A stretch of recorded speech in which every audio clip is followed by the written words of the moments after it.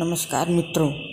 मित्रों, गणेश भगवान की पूजा तो सभी घर में होती है और हर पूजा में सबसे पहले गणेश भगवान की ही पूजा होती है।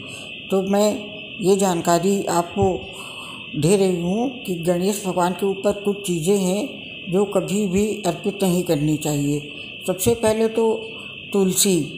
तुलसी कभी भी गणेश भगवान को नहीं चढ़ाई जाती है, क्योंकि तुलसी विष्णु प्रिया है। विष्णु जी की प्रिय हैं तुलसी जी। इसीलिए कभी भी गणेश भगवान को तुलसी जी अर्पित नहीं करनी चाहिए। और गणेश भगवान पे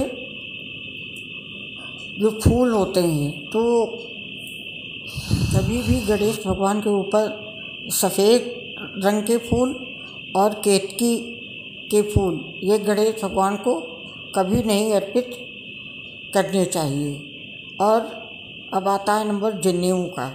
तो भगवान गणेश को जनेऊ सफ़ेद रंग का ना पहनाए, जनेऊ को हल्दी में रंग लें, उसके बाद गणेश भगवान को अर्पित करें। सफ़ेद वस्त्र भी ना अर्पित करें।